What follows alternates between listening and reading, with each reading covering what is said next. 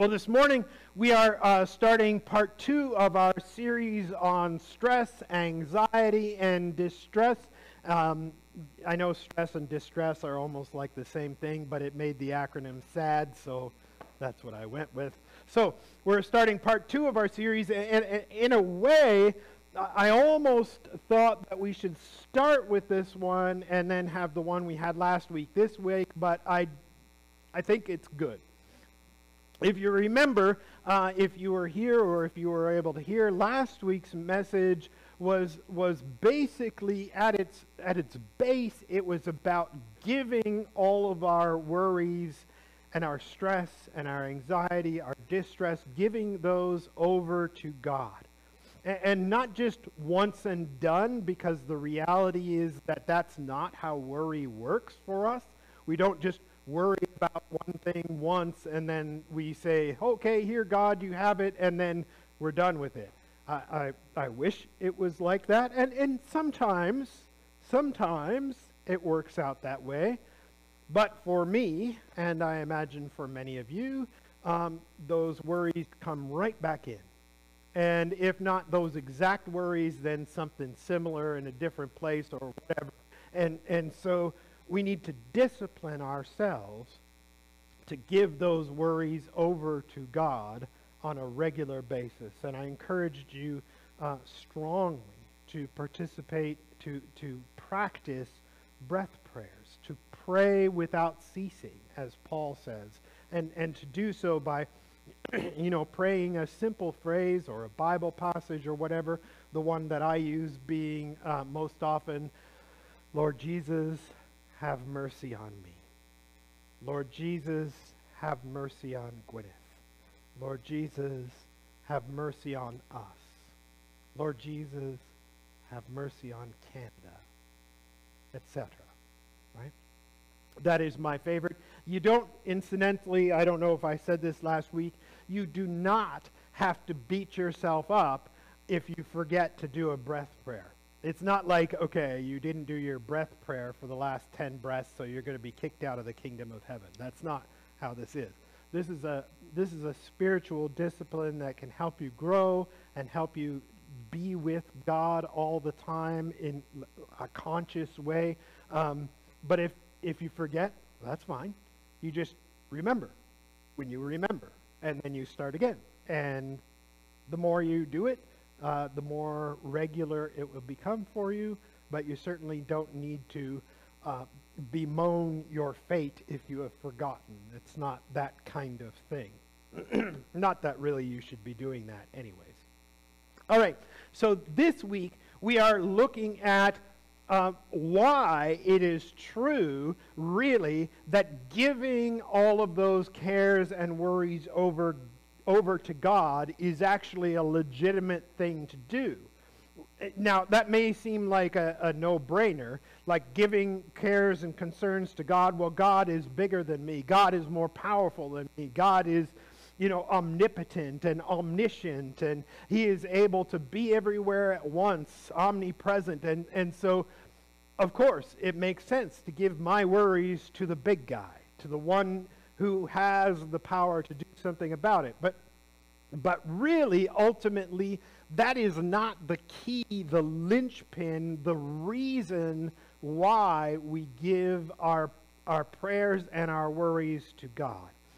And, and that the linchpin lies in uh, to whom we belong. And so we are going to look briefly at Lord's Day, uh, Lord's Day question and answer uh, 1 from the Heidelberg Catechism, with which you are no doubt familiar.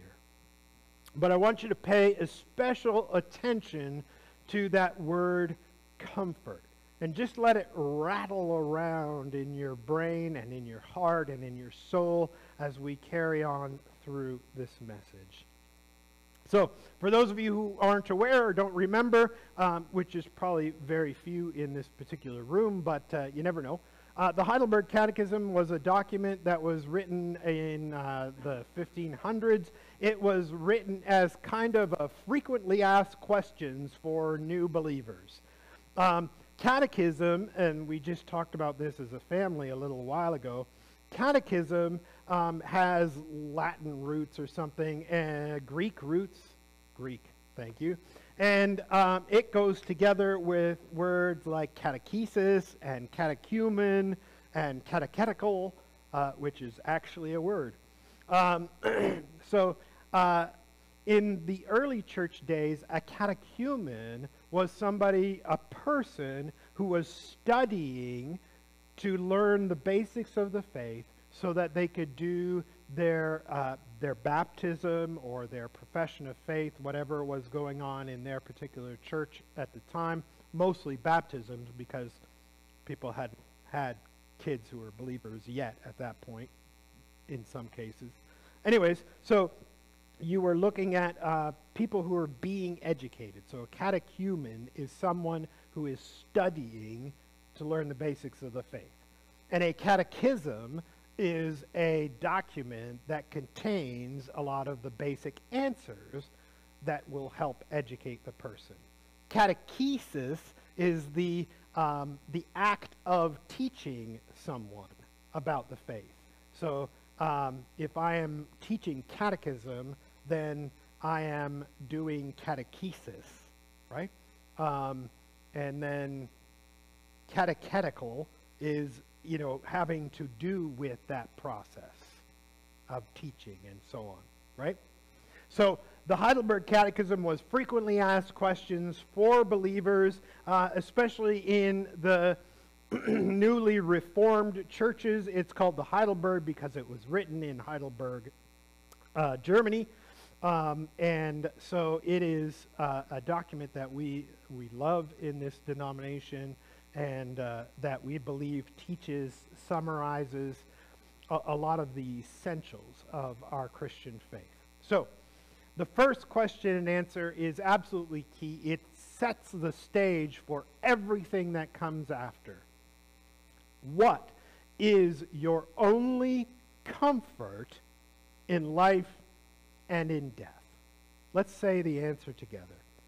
That I am not my own but belong, body and soul, in life and in death, to my faithful Savior, Jesus Christ. He has fully paid for all my sins with his precious blood, and has set me free from the tyranny of the devil. He also watches over me in such a way that not a hair can fall from my head without the will of my Father in heaven. In fact, all things must work together for my salvation. Because I belong to him, Christ, by his Holy Spirit, assures me of eternal life and makes me wholeheartedly willing and ready from now on to live for him. Amen we're going to look at a couple of particular passages. One of the nice things about the versions of the Heidelberg Catechism that most of us are familiar with is that they often include scripture references, which is really neat because uh, really, scripture is number one. The catechism and other documents are number two. Okay? They're, they're wonderful, they're good, but they must be measured against the scriptures.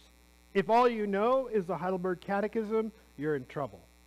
I may have shared this with you before, but Gwyneth grew up in the Baptist church. I know I've shared that with you before. But she also went to a, a Christian school with me uh, that was largely filled up with Dutch descent uh, Christian reform folk. And one of the things that would drive her nuts was that she'd get into some theological debate with somebody and they would quote at her the Heidelberg Catechism. And she'd say, Yeah, but what does the Bible say? Probably not with that attitude, but yeah, maybe, right? Uh, because the reality is, is that the Heidelberg Catechism is designed to point to the Scriptures. It doesn't replace the Scriptures.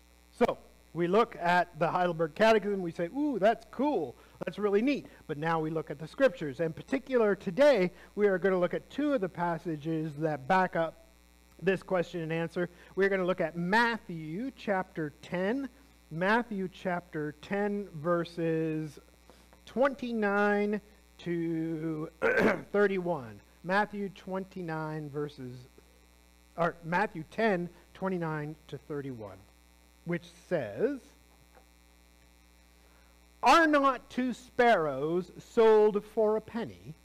Yet not one of them will fall to the ground outside your Father's care. And even the very hairs of your head are all numbered. So don't be afraid. You are worth more than many sparrows. The second passage that we're going to look at is John chapter 10. John chapter 10, verses 27 and following. John chapter 10, verses 27. Now, this is in the context of, of Jesus.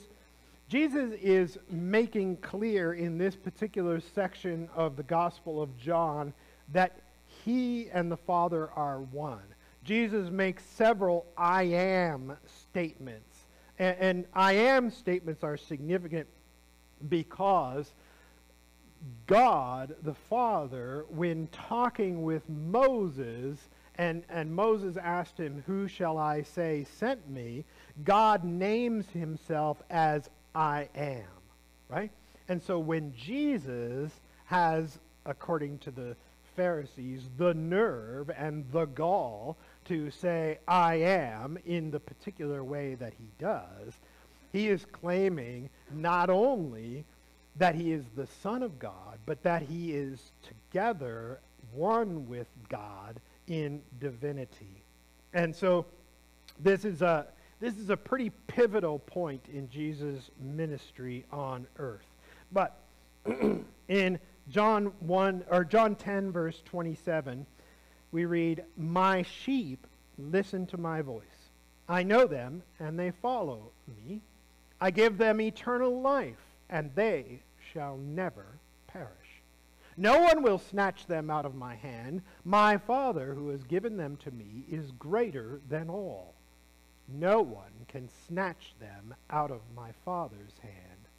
I and the Father are one. The word of the Lord. Amen.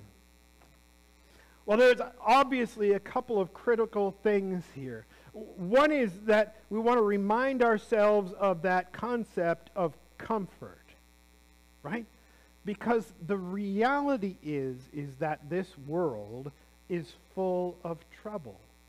And, and even if we we shut out the world and only look to ourselves, the truth is is that I myself am full of trouble. I myself even in my own little world, in my own body, in my own mind, in my own heart, I am full of trouble. And so are you. Even if mentally you are a happy go lucky person and you've never been sad in your life and, and stuff like this, your body's going to break down. You're going to die you are going to not be able to do the things that you used to be able to do. Your mind will stop working the way it once did, right? Even within ourselves, we are full of trouble. But of course, we're not just within ourselves we are living in this world, more broadly speaking, and this world is full of trouble. We have struggles all over the place. Just look at what was going on in Haiti. Just look at the election that has come upon us and all of the issues surrounding it. Part of the reason, if you think about this, part of the reason that we have different political parties is that there are troubles in this world, and different people have different solutions to those troubles. If there was only one solution, really legitimately only one solution to the world's problems in detail, then there probably wouldn't be any political parties. You know? One party says we ought to fix things this way. Another party says we ought to fix things this other way. we have trouble in this world. You look at the pandemic, and it is trouble. It is trouble in a whole bunch of ways. It is trouble, of course, for the people who get it. It is trouble, of course, for the people who have to do the health care and care for the people who get it. It is trouble for the countries where they have vastly fewer number of vaccines available to them than we do. It is trouble as, as it develops into different variants. It is trouble as it plays with our minds. It is trouble as it messes up our social structures. It is trouble as it, as it seems to lead people in desperation to resort to things like opioids and other drugs. It is trouble when it comes to employment and the economy. It is trouble even for how we feel towards each other.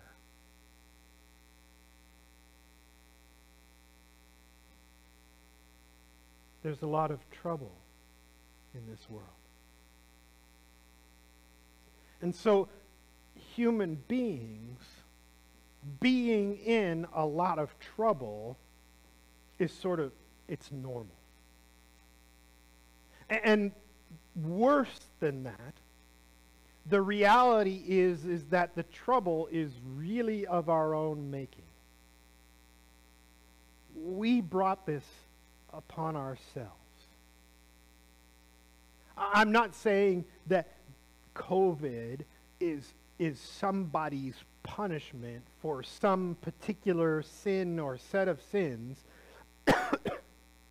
I'm not saying that political parties are a punishment for our sins, although sometimes it feels that way, right? I'm not saying that, that polarization is necessarily your punishment for your opinionated stances or something like that, not excluding myself.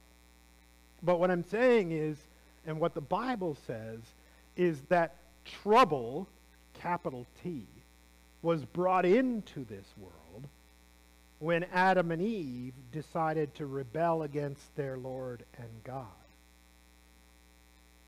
And each of us has inherited that and each of us has acted upon that in the same basic way.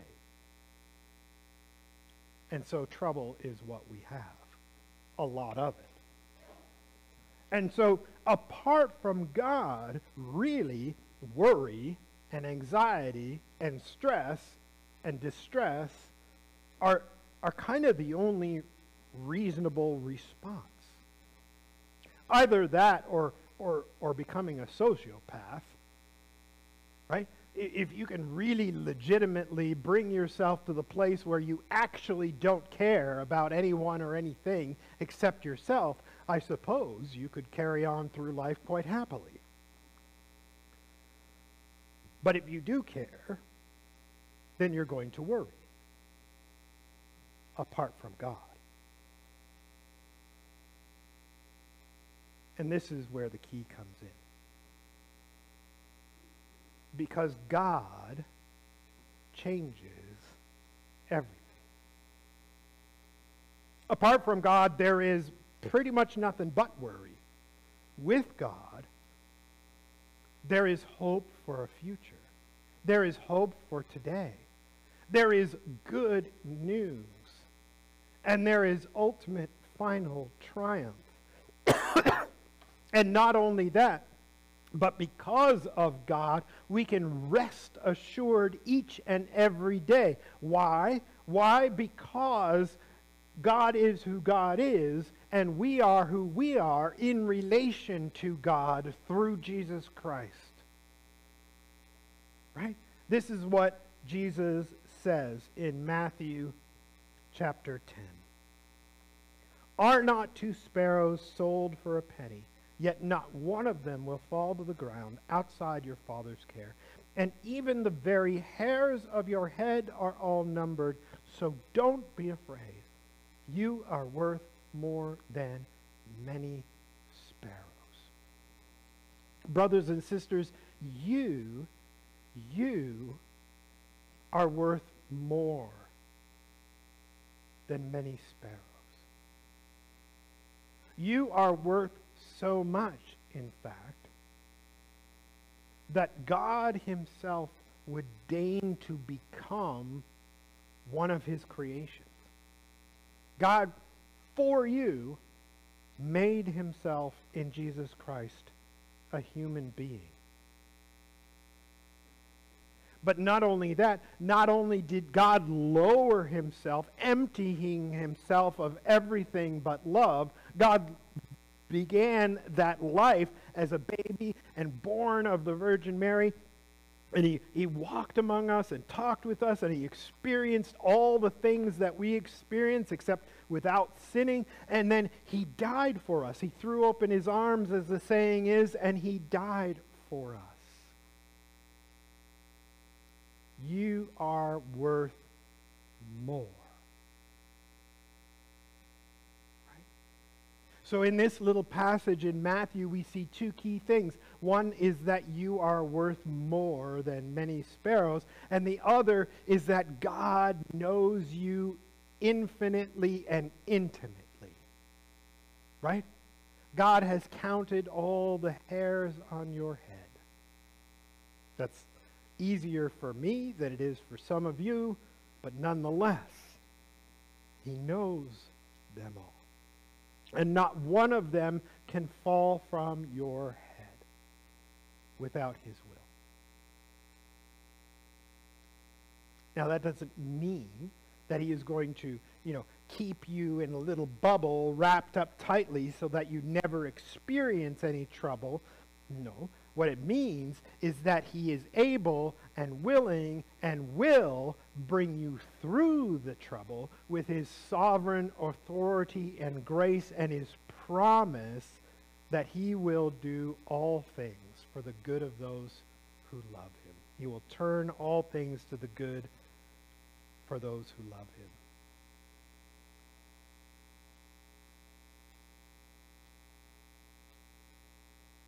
I love sparrows and, and animals and little critters and creatures and stuff. I'm a softy like that. I kind of wish, you know, the story of Dr. Dolittle or whatever who could talk to animals, right? That's Dr. Dolittle, right? I so wish I was that guy. I want to be able to talk to the animals. But God can. And he sees them and forgive me for being all, you know, sentimental or whatever, but he sees the cute bunnies, sees the cute little kitties and the birdies, and he sees all the wonderful little animals, and they're wonderful, and he even sees the ugly animals or the ones that we think are ugly, and, and he loves them, and he cares for them, and not even one of them can fall without his will. And yet he sees us and we're even more to him. And that is beautiful. It's wonderful. But then that's not all, of course. Then we look at John chapter 10 and we realize that not only can we not fall without the, without the will of the Lord our God in heaven, but we also find out that we have a promise that is great, that has given, been given to us. Jesus says, My sheep listen to my voices. John 10 27. I know them and they follow me. I give them eternal life, and they shall never perish. No one will snatch them out of my hand. My Father, who has given them to me, is greater than all. No one can snatch them out of my Father's hand. I and the Father are one. Nothing bad can happen to us without the will of the Lord our God. But not only that, anything that feels or seems bad to us will be worked to the good of those who love him. And not only that, but there is nothing that can take you away from God and from the gift that he has given you of eternal life. Nothing. Right? You are secure in his hands. And this is why, this is why our only comfort, comfort in life and in death, is that we belong to Jesus. Nothing bad will happen without his will. Everything that seems bad will be worked for the good of those who love him. And nothing can ever snatch us from his hands. And he gives us the gift of eternal life. And so, really, when it comes down to it, what do we have to be afraid of? Nothing. Yes, this world is full of trouble, but compared to our God, it is nothing. Yes, there is trouble within our bodies. We are already saved and made holy by God through Jesus Christ, but we are not yet what we will be when we are resurrected on that great and glorious day with our new and glorified bodies, just like Jesus has, who is the firstborn of the dead. Yes, it is true that this body will die. This body will decay. This body already has aches and pains. But it is Nothing. Compared to our God and his plan for us.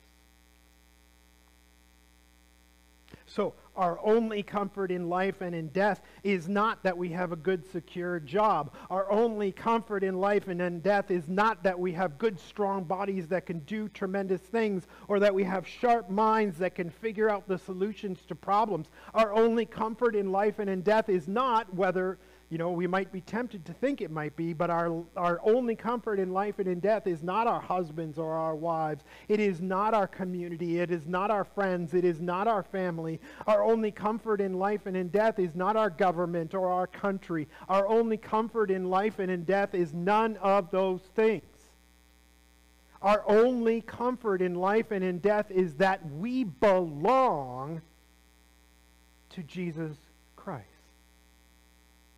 And that is why it is so critical, so important to continue to practice the presence of God in our everyday, every moment life.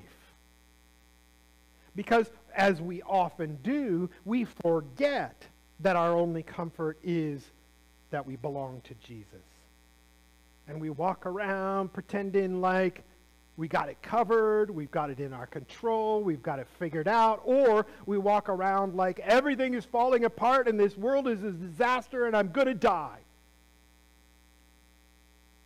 Neither of which is true.